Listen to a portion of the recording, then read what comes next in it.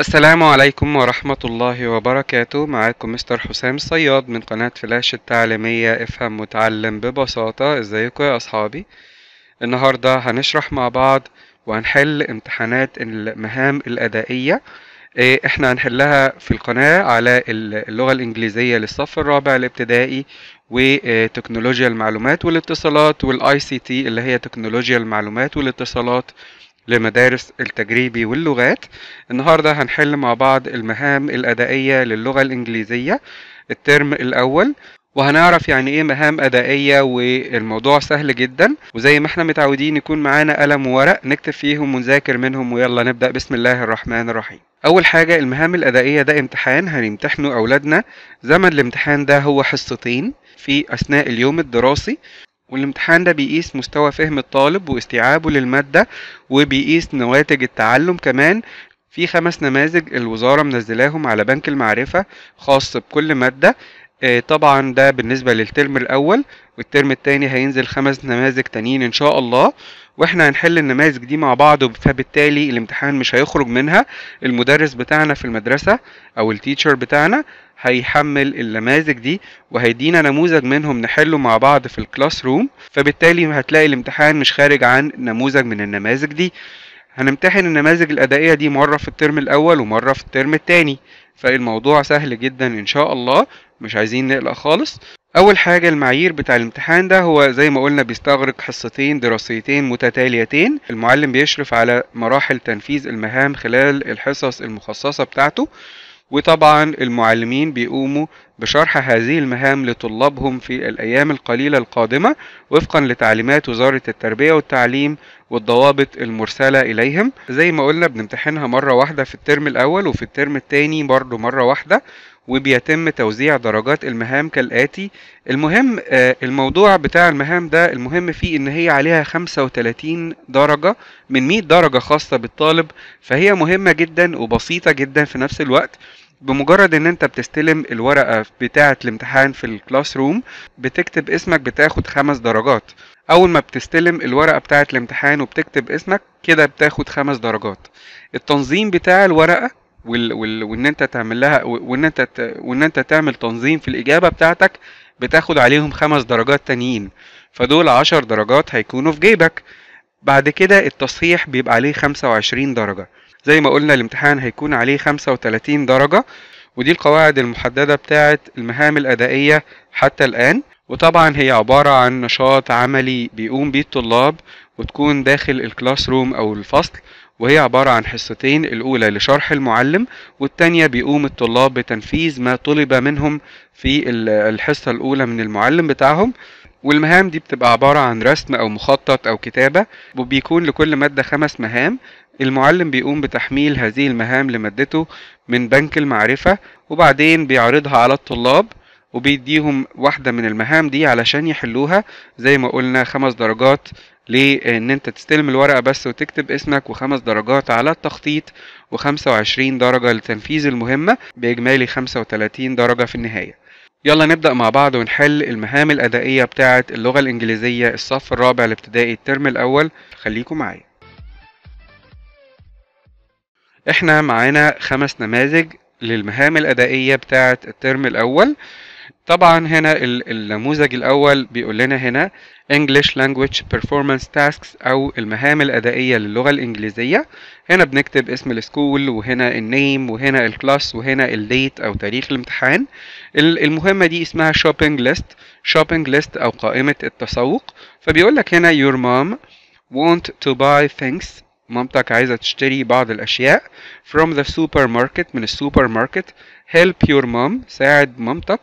Prepare a shopping list prepare a shopping list إن هي تعد قائمة التسوق بتاعتها write about اكتب عن the money you have. الفلوس اللي معاك the things your mom want to buy الحاجات اللي مامتك عايزة تشتريها the prices of some items the prices of some items الأسعار بتاعت بعض الحاجات اللي هي هتشتريها وبيقول لك في الآخر draw your shopping list ارسم قائمة التسوق بتاعتك and draw some items you want to buy وارسم بعض الحاجات انت عايز تشتريها.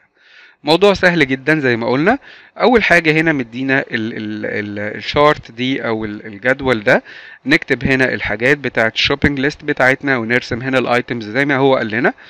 فالاجابه مثلا هتكون mom gave me 50 pounds. أمي إدتني 50 جنيه.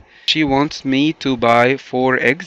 طلبت مني إن أنا أشتري أربع بيضات a box of salt آه، ك- علبة ملح a kilo of sugar كيلو آه، سكر and a jar of jam وبرطمان مربى. The egg is 1 pound البيضة الواحدة بجنيه آه، each. The box of salt is 3 pounds آه، تمن الملح 3 جنيه. The sugar is 12 pounds a kilo. السكر ب 12 جنيه الكيلو. The jar of jam is 20 pounds. وبرطمان المربى ب 20 جنيه. Mom was happy when I bought the shoppings. أمي كانت سعيدة لما أنا اشتريت الحاجات اللي هي طلبتها مني. وهنا طبعا هنرسم في الناحية التانية. The shopping list for eggs a box of salt kilo of sugar a jar of jam ورسمنا برطمان المربى وأربع بيضات وكده أجاوبنا على المهمة دي. المهمة التانية a birthday party a birthday party أو حفلة عيد الميلاد. Your grandpa birthday آه، آه، حفلة عيد ميلاد عيد ميلاد جدك was last week كان الأسبوع اللي فات. You and your family prepared a birthday party. أنتوا حضرتوا انت وأسرتك حفلة عيد ميلاد. Write about اكتب عن. what you prepared for a birthday party انتوا حضرتوا ايه لعيد الميلاد what you did in the birthday party انتوا عملتوا ايه في عيد الميلاد how you felt in the party how you felt in the party انت شعرت بايه في عيد الميلاد فهنا بيقول لك draw a picture ارسم صورة of you and your family ليك ولأسرتك at the birthday party في حفلة عيد الميلاد هنا هنكتب عن ال birthday party اللي إحنا عملناها لل grandpa بتاعنا لل grandpa بتاعنا وهنرسم هنا الصورة الخاصة بال birthday party فممكن تكون الإجابة كالآتي. My grandpa My grandpa's birthday party was last week. We prepared a big birthday party. إحنا عملنا حفلة عيد ميلاد كبيرة. We had a big cake. إحنا كان عندنا كيكة كبيرة. Many balloons. بالونات كتيرة and we invited many friends. وإحنا دعينا أصدقاء كتير. We sang and played a lot. إحنا غنينا ولعبنا كتير. We ate the cake. إحنا كلنا الكيك we were happy. We were happy. إحنا كنا سعداء. انت هنا شعرت بالسعادة فهو عشان سألك انت حسيت بإيه؟ وهنا نرسم طبعا صورة لينا ولأسرتنا والج- وال grandpa بتاعنا وإحنا بنحتفل بال birthday party بتاعه. النموذج الثالث اسمه A Family Album. A Family Album أو ألبوم صور الأسرة. فبيقول لك هنا you want to make a family album of you and your family members. أنت عايز تعمل ألبوم صور ليك ولأسرتك. Write about اكتب عن the people in your family. الناس الموجودة في أسرتك. الناس الموجودة في أسرتك. Grandpa grandma father mother sister brother uncle aunt cousins etc يعني كل الناس اللي ممكن يكونوا موجودين في ال family بتاعتك ال family members draw your family tree ارسم شجرة العيلة بتاعتك with you in the middle with you in the middle وانت تكون موجود في النص في المنتصف. فهنا هنكتب وهنا هنرسم. نكتب ونقول I have a big family أنا عندي أسرة كبيرة. My grandpa is 70 years old جدي عنده 70 سنة My grandma is 60 years old جدتي عندها 60 سنة I love my parents أنا بحب والدي أبويا وأمي I have one brother and two sisters وعندي أخ واحد وأختين I have uncle and aunt عندي آه، عم وعمة أو خال وخالة and two cousins واتنين من أبناء العم. I love my family. I love my family. أنا بحب أسرتي. ونرسم الناحية التانية ال family tree زي آه، زي ما إحنا ما شايفين قدامنا كده. ونحط في نفسينا موجودين في النص.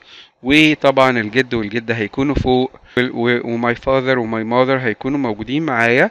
أنا وإخواتي بعد كده في النص. وبعد كده ولاد عمي وولاد عمتي موجودين في الآخر تحت خالص. وبكده رسمنا ال family tree بتاعتنا. وحلينا المهمة دي كمان. أنا سايب لكم النماذج الخمسة بالإجابات بتاعتهم وهسيب لكم الرابط بتاعهم في آه، على الصفحة بتاعتنا على الفيسبوك وعلى المجموعة كمان وأتمنى إن أنتوا تحملوهم بعد ما تتفرجوا على الشرح علشان خاطر تقدروا تحلوهم لوحدكم. سايب لكم النموذج بتاع سايب لكم الخمس نماذج بتوع الامتحان وسايب لكم خمس نماذج الإجابة الخاصة بيهم. وفي الختام أتمنى إن أنت تشارك الدرس مع أصحابك علشان الكل يستفيد. ما تنسوش تتابعونا على صفحتنا على الفيسبوك والمجموعة بتاعتنا كمان. سايب لكم ال links بتاعتهم في ال description أو في الوصف أسفل الفيديو.